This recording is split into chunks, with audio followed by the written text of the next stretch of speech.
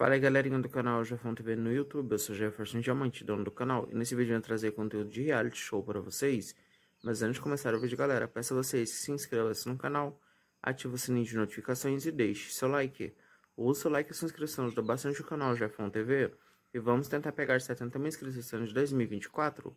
Conto com a ajuda de vocês, e agora sem enrolação vamos para o vídeo galera.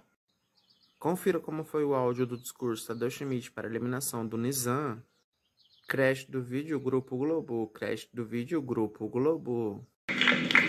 Voltei com a notícia dolorosa, mas antes eu queria dar aquele lembrete. Despedida na sala, tá? Só sai pro jardim a pessoa eliminada.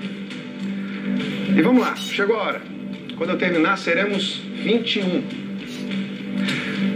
Em duas semanas, algumas pessoas chamaram mais atenção que outras. A gente aqui de fora já enxerga direitinho alguns personagens com suas personalidades, características bem marcantes. Mas você consegue se enxergar aí dentro? Você consegue se ver nessa casa? Você conseguiria descrever com precisão a sua participação no BBB? Nunca é fácil enxergar nós mesmos como nós realmente somos. Você tem convicção de que está fazendo tudo o que é necessário dentro dos seus próprios limites para ir adiante. E se as pessoas estiverem vendo exatamente o contrário do que você vê?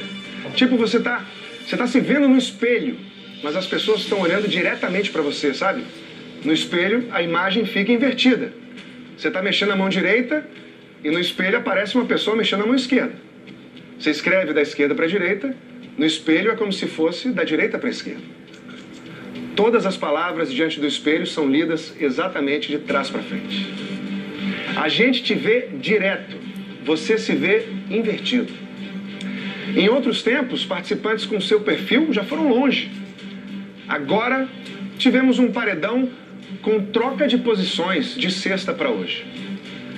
O resultado final está aqui e a gente pode dizer que tudo começou no espelho. Quem sai hoje é você, Nisa. Fala aí, galerinha, vocês gostaram do vídeo? Deixa abaixo nos comentários o que vocês acharam e comente aí. Vocês gostaram do discurso da Deu Schmidt na eliminação dessa semana? Comente aí, eu estarei lendo todos os comentários respondendo.